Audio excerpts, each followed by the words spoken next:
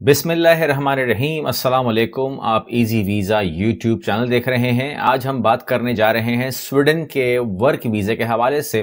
Sweden के work वीज़े को किस तरीके से आप हासिल कर सकते हैं तो इसके दो तीन तरीके जो हैं आपको समझने होंगे ताकि आपको जो रास्ता समझ में आए या आसान लगे, आप उसको अटैम्प्ट कर सकते हैं या आप इसको आप मिक्स भी कर सकते हैं कि अगर दोनों को पैरल लेके चला जाए या इस तरह कुछ किया जाए तो आपको उसका भी एक आइडिया दे दूँगा कंप्लीट तो पूरी मालूम लेने जा रहे हैं हम लोग। सबसे पहले तरीकाकार ये है कि अगर आप लोग थोड़ी सी ट्रैवल हिस्ट्री अपनी रखते हैं और या बना लेते हैं, क्योंकि जब भी कोई आपको मालूम दी जाती है, उसका मतलब ये नहीं होता कि कल ही आपने उसको इम्प्लीमेंट करना है, आप अपना होमवर्क भी कर सकते हैं।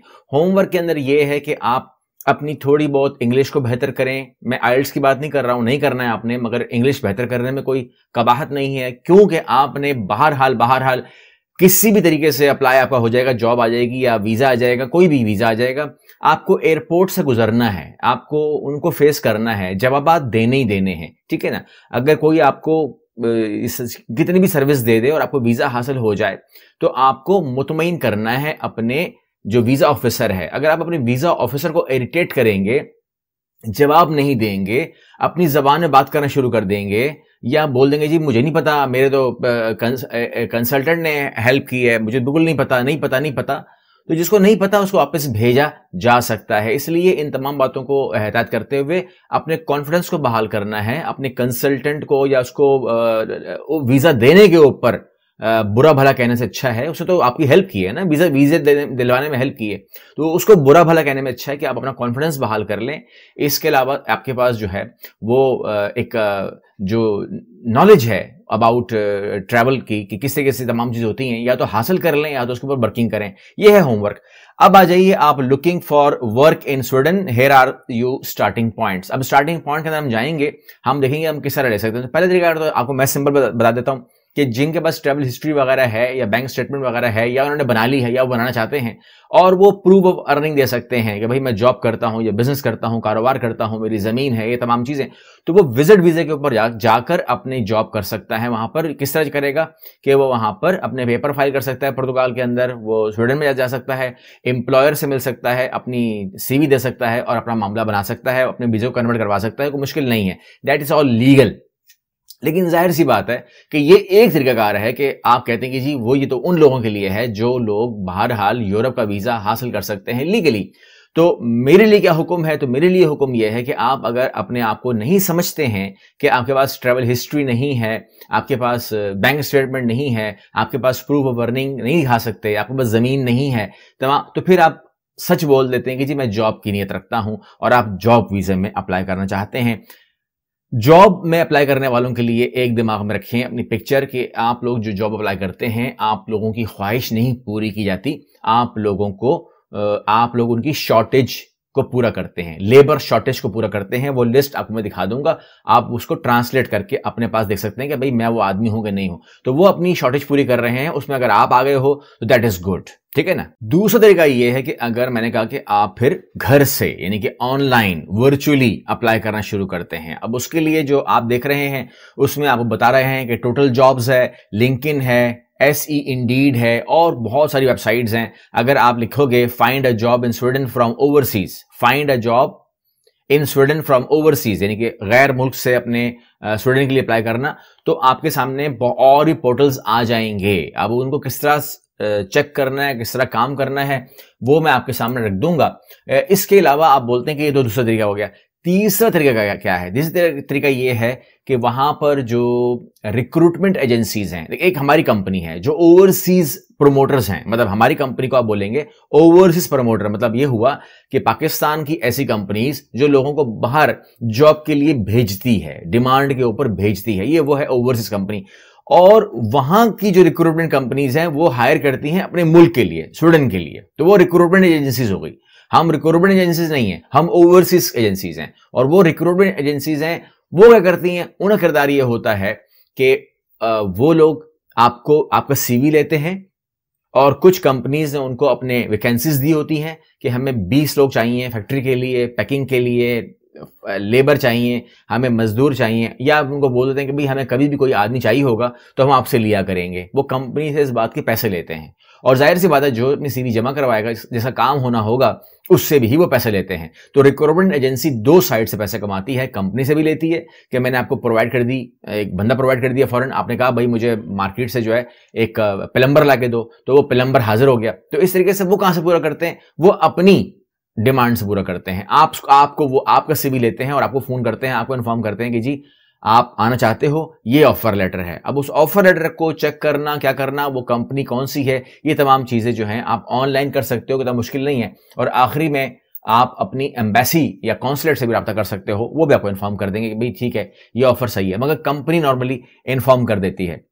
अब यहाँ पर आप आगे आ जाइए, आप कहते हैं कि जी, इस प्रोसेस के अंदर लगता क्या है, होता क्या है? तो होता यह है कि अगर आप फॉरनर हैं, यानी कि आप स्वीडन में नहीं हैं, और आप स्वीडन के रहने वाले भी नहीं हैं, आप पाकिस्तान में हैं, बांग्लादेश में हैं, भूटान में हैं, नेपाल में हैं, अब अगर आपने स्वीडन को टारगेट कर लिया है कि आपने वहाँ जॉब करनी है, किसी मुल्क को भी टारगेट करते हैं जब हम लोग तो हम उनकी जो सबसे वो होती है शॉर्टेज लेबर मार्केट जो होती है उनकी वो उसको एड्रेस करते हैं। तो वो, उसमें अगर हम फिट आ रहे होते हैं तो हम अपने वहाँ पर डॉक्यूमेंट डालते हैं। तो जो जर्नल रिक्वायरमेंट्स हैं उसकी क्या वैलिड पासपोर्ट हो? वैलिड पासपोर्ट के अंदर दो तीन साल का उसमें अच्छा खासा वो दिया हुआ हो। इसके अलावा जॉब कॉन्ट्रैक्ट हो आपके पास आपके पास ऑफ़र लेटर हो जिसमें आपकी कहाँ आप रहोगे कितनी सैलरी मिलेगी आपका इंश्योरेंस हो चुका कवर के नहीं हो चुका आपका तमाम चीज़ें जो है वहाँ पर मैंशन हो ए टू जी जो कि उनको पहले से पता होता है आपका काम नहीं है वो। कि उसमें क्या होना चाहिए, क्या नहीं होना चाहिए। दैट इज़ ऑन कंपनी जो आपको दे रही है। वो तमाम चीज़ें जो हैं, आपके साथ जाएँगी स्वीडिश कॉन्सुलेट के अंदर या एम्बेसी के अंदर, जहाँ आपको वीज़ा ग्रांट किया जाता है।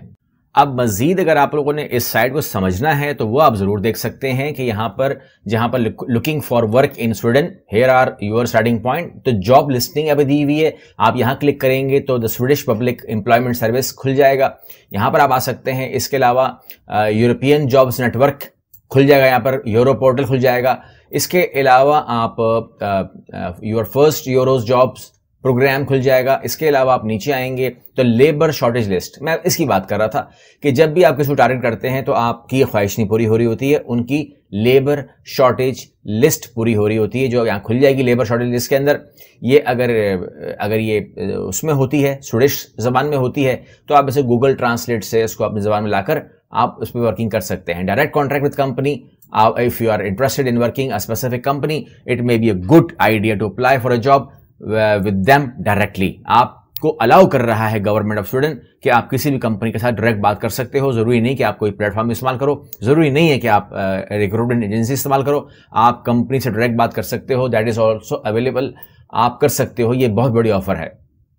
इसके अलावा आपको वो तमाम मालूम यहाँ से मिल जाएगी जो आपके लिए मेन है। अब यहाँ पर आप इशारा देख रहे हो। वो कहते हैं कि स्वीडिश लर्निंग के बारे में वो कह रहे हैं कि जी आपको सीखना चाहिए और सीख, कैसे सीखेंगे? जब भी अब मैं दोबारा कह देता हूँ कि अगर आप स्वीडन को टारगेट कर रहे हो तो स्वीडिश जबान अगर आपको नहीं आएगी तो फिर आप कहाँ खड़े हुए हो? मतलब फॉर एग्ज़ाम्पल आप जैसे हमें लोग कहते भी हैं कि जी वो फलां आदमी जो है, उसके पास स्वीडिश के जॉब्स आई हुई हैं। पहली बात तो ये है कि आप चेक कर सकते हो ओ ई पी पर जाके चेक किया करो। हमारी जो मिनिस्ट्री ओवरसीज है, वहाँ जाके चेक किया करो। अगर कोई आदमी कहता है कि मेरे पास स्टूडेंट की जॉब्स आई हुई हैं तो चेक करो। वो उसकी कंपनी का नाम क्या है? उसका लाइसेंस क्या है? उसको लेके जाओ ओ ई e पे चेक कर लो। अगर वहाँ पर आ रही हैं जॉब्स तो वो सच कह रहा है। तो अगर वहाँ जॉब्स नहीं आ रही हैं उसके पोर्टल के अंदर तो वो झूठ बोल रहा है। सिंपल सी बात ये है। इसमें आप, हमें अगर लेटर भेजते हैं, हम हम दिन के अंदर तकरीबन दस पंद्रह लेटर आप लोगों के रिसीव कर रहे होते हैं। रिप्लाई नहीं करते बिकॉज़ हम ओ e नहीं है।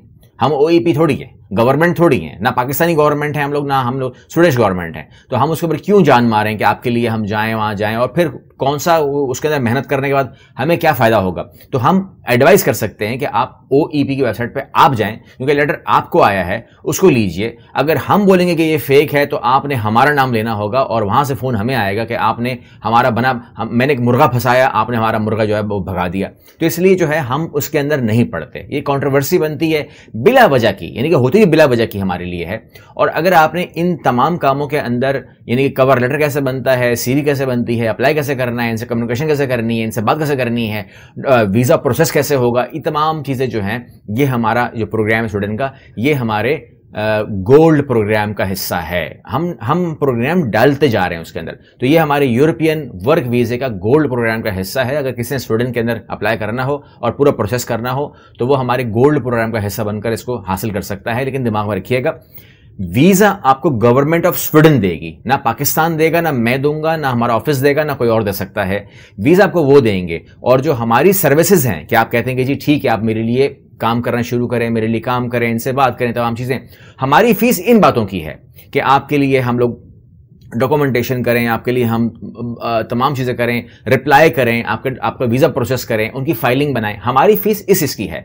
हमारे को इस बात से कोई मतलब नहीं है कि हमें हमें कोई ये बोले कि जी, आप तमाम काम करें, सब करें, दिल लगा के करें, सारे काम छोड़ कर करें मेरी खिदमत करें, मगर पैसे मैं वीज़े के बाद दूँगा, क्योंकि हमारे वीज़े से ताल्लुक नहीं है।